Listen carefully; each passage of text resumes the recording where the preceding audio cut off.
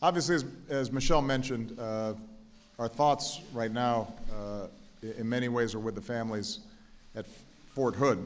You know, th- these are folks who make such extraordinary sacrifices for us each and every day for our freedom. Uh, During the course of a decade of war, many of them have been on multiple, uh, you know, tours of duty. To see unspeakable, senseless violence happen uh, in a place where they're supposed to feel safe, home base, uh, is, is tragic.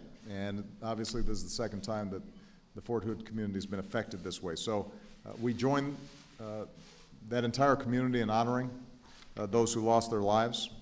Uh, Every single one of them was an American patriot. Uh, We stand with their families and their loved ones as they grieve. We are thinking about those who are wounded. We're there to support them.